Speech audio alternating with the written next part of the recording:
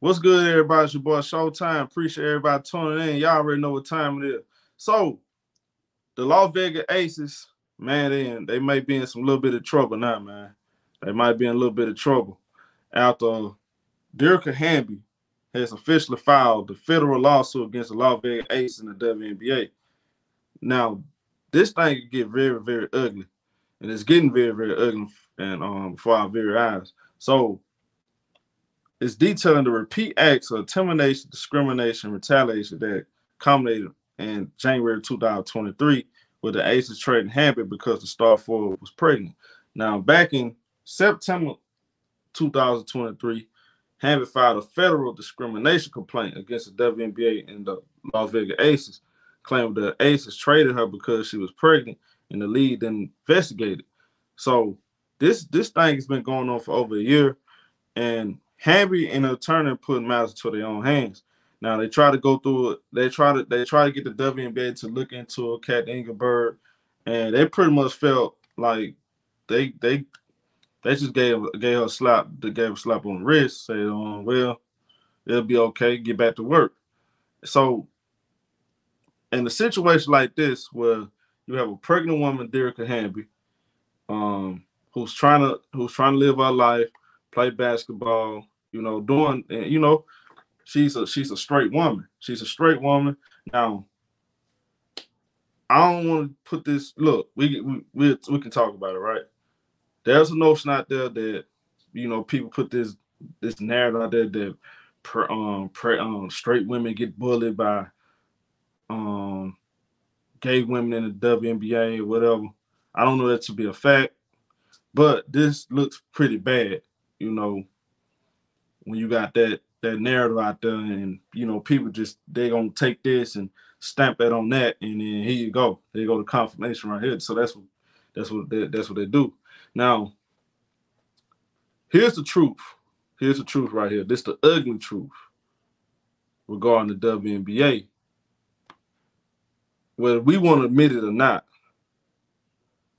the WNBA has an issue dealing with postpartum athletes.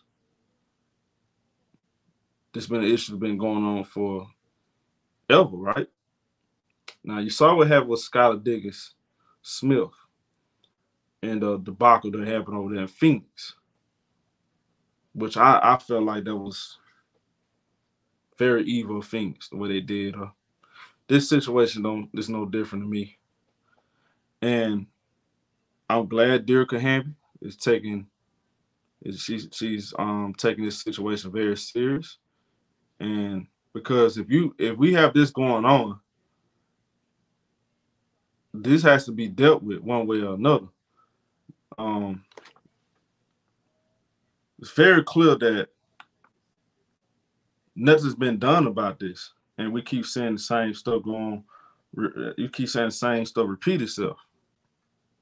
Now, Dearica Hamby attorney puts out a statement.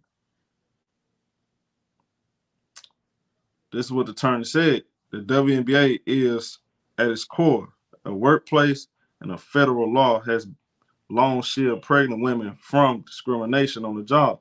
The world champion Aces exiled Dearica Hamby for becoming pregnant, and the WNBA responded with a light tap on the wrist.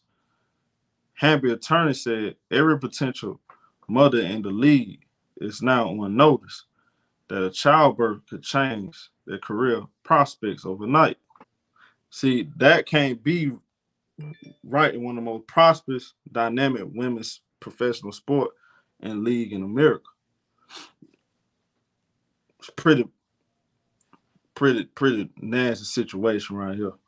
You know, the WNBA needs to do something about this and the fact that they they they try to sweep this on the rug is not good. You know, you can't have this going on. And they said in the in the she was getting intimidated. Um, they said, I mean, according to the re- reports, that I mean, the, the, the stuff that's been put out there, she felt like she's been intimidated. Now we don't know all. I don't know. We don't know all the details. Everything's not been put out there. Now, what's been put out there, whether it's true or not, the fact that she had to actually get an attorney to handle the situation instead of Cathy Engelbert handling it's a bad look on the league. You know, um, this is a very bad situation going into the second half of the of the season. You know, um, you know, eyeballs gonna be locked on, you know, Sparks versus Aces. You know, going forward. You know, they've been playing each other. I mean, nothing happened. It just people want to see drama. But this stuff right here is bigger than basketball. You know, women, you got women going through this in the league, and there's more details out there. I'm pretty sure that's been hid from the public, but I feel like this is wrong on the WNBA part for not handling this situation. Now, you on a you want to play devil's advocate, you want to say, well, to be fair, is it responsible for her to get pregnant knowing she got to play basketball? And how that's our obligation to play basketball. Then you look on the other side though. You have a you have a straight basketball player who wants to make a living for herself and her family, you know, and she wants to have a family, you know, and she wants to be able to play basketball and have a family, you know, and I guess the team felt like the league feels like you're supposed to sacrifice that part. You got to make sacrifices. You might have um, having a kid is not a um, good idea. But one thing I can't agree with, I can't agree with bullying, intimidation, and discrimination. Can't agree with that. That stuff shouldn't be accepted in no league, no workplace at all, period. So whatever happened with this situation, I hope Dearica Hamby the best, and I hope she get the closure she's looking for. You know, and I hope this this right here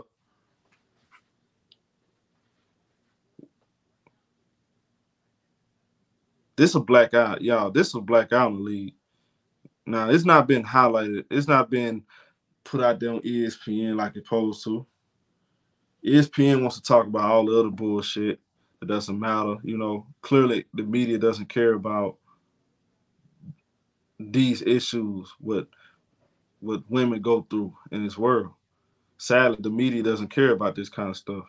They don't care about the real issues like this, bullying, you know. Hopefully they can get this this cleaned up, bro. And I'm starting to really question Kat Engelbert as a commissioner because you can't have this stuff. You can't have this stuff going going on in your league, and you don't do nothing about it. You got him a slap on the wrist, and you made her feel like, you know, um, man, you let you, you left her hanging. You left her hanging, man. You know that's not that's not good and that's a and that's probably the worst feeling. And that's probably the worst feeling, you know, for her to try to like play basketball and keep a smile on the face, knowing my coach keep my, my coach keep me off a team I've been on for years, and I try to get the WNBA involved, you know, and they pretty much shrug their shoulders. You know, it's like you work at some of y'all work at y'all jobs. Y'all got stuff going on, and a serious matter come up, and your mama might be sick or something, and you know you have to leave work early, and your boss tell you, well, if you leave early, you can't come back. What you gonna do? If your mama, if your mama really, you know, sick or really, you know, something serious happen, I mean, you forced to lose your job. You know, so I mean, it just it's sad. You know, it's sad, and it need to be there need to be some kind of, you know, they got to do something about this, y'all. I mean, the um, the com, the players committee, you know, this need to be something that um, there need to be some rule changes, some agreements upon pregnant women. It need to be a better system. That's what I'm looking for. Fix the system. fix the system. So going forward, this won't happen again. See what I'm saying? Or do they even care? Seem like to me they don't care. You got all this stuff going on, and nothing's been done. Like, what's going on, Captain Engelbert? Like, what's really going on?